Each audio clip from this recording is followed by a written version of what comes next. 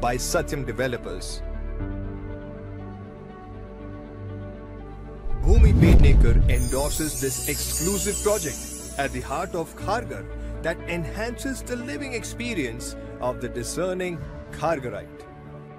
Truly next level.